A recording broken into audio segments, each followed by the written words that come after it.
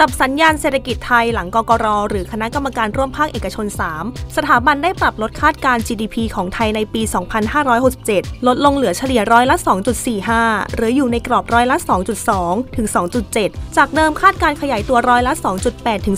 3.3 ซึ่งถือว่าเป็นระดับที่ต่ำสุด เมื่อเทียบกับสำนักเศรษฐกิจต่างๆ หลังมองว่าภาคการส่งออกไทยปีนี้ มีแนวโน้มเติบโตได้น้อยลงราวร้อยละ 0.5 ถึง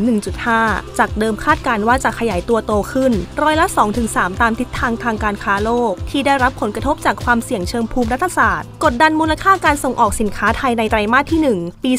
2567 หดตัวลง โดยฝ่ายวิจัยบริษัทหลักทรัพย์เอเชียพลัสระบุว่า มีความเห็นต่อเรื่องเศรษฐกิจไทยว่า เศรษฐกิจไทยเสี่ยงขยายตัวต่ำ แต่ความคาดหวังที่จะได้เห็นเศรษฐกิจไทยได้ผ่านพ้นบัตท็อปเอาไปแล้ว ยังมีมุมมองที่ไม่ได้เปลี่ยนแปลงไป ขณะที่ระยะข้างหน้า เชื่อว่านโยบายการเงินการคลัง จะดำเนินการไปในทิศทางเดียวกันมากขึ้น เพื่อพุ่งเป้าให้เศรษฐกิจไทยขยายตัวได้แบบไม่สะดุด โดยภาครัฐมีแผนอัดนโยบายต่างๆ ในช่วงที่เหลือของปีนี้อาทิ การเร่งเบิกจ่ายงบประมาณปี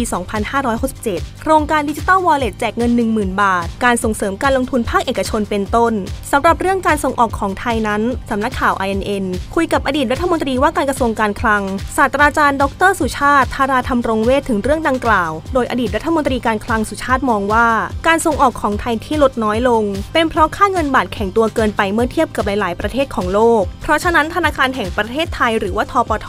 ควรที่จะลดอัตราดอกเบี้ยนโยบายลง เพื่อเพิ่มขีดความสามารถในการแข่งขัน ส่วนความขัดแย้งระหว่างรัฐบาลและแบงก์ชาติ ที่มีความเห็นต่างเรื่องอัตราดอกเบี้ยนั้น ยอมรับว่าย่อมกระทบต่อความเชื่อมั่นของนักลงทุน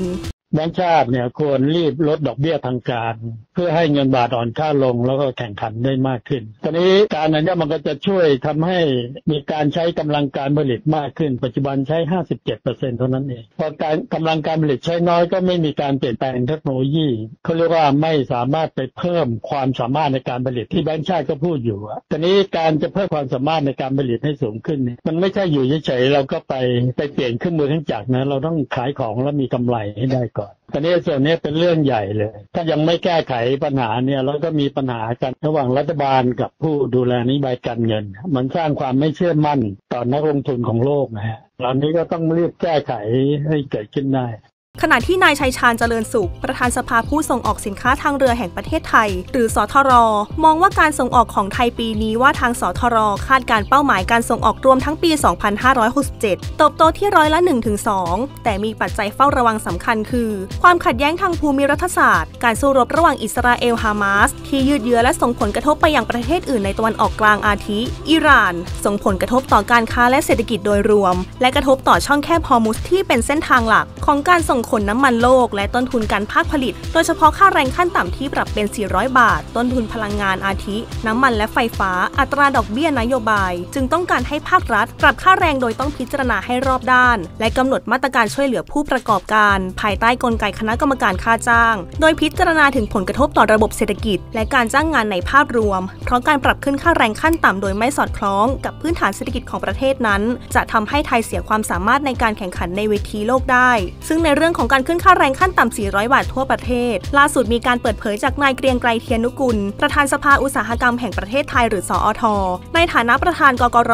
มองว่ากกรจะมีการทำหนังสือถึงกระทรวงแรงงาน เพื่อขอคัดค้านการขึ้นค่าแรงขั้นต่ำ 400 บาททั่วประเทศ และหารือถึงแนวทางการปรับขึ้นค่าแรงให้เหมาะสม กับการเพิ่มขีดความสามารถในการแข่งขัน และเป็นประโยชน์ต่อการฟื้นตัวของเศรษฐกิจในประเทศ พร้อมกันนี้จะมีการหารือกับภาคเอกชนในแต่ละจังหวัด ถึงผลกระทบการจัดทำข้อเสนอของการขึ้นค่าจ้างขั้นต่ำ เพื่อนำเสนอคณะอนุกรรมการพิจารณาอัตราค่าจ้างขั้นต่ำรายจังหวัด โดยจะยึดกลไกการพิจารณาของคณะกรรมการค่าจ้างไตรภาคีเป็นสำคัญ จากนี้จะต้องจับตามมาตรการการขับเคลื่อนเศรษฐกิจไทยของรัฐบาลเศรษฐาอย่างใกล้ชิด รวมถึงประเด็นความเห็นที่ไม่สอดคล้องกันระหว่างแบงก์ชาติและรัฐบาลเพิ่มเติมเข้ามาทำให้กระแสเรื่องความอิสระของธนาคารกลาง เป็นการดำเนินนโยบายทางการเงินสภาวะดังกล่าว นักวิเคราะห์มองว่า อาจนำมาซึ่งประเด็นความเชื่อมั่นของนักลงทุน ถือเป็นปัจจัยที่ทำให้ตลาดหุ้นไทย perform ได้ยากขึ้นขึ้นนั่นเอง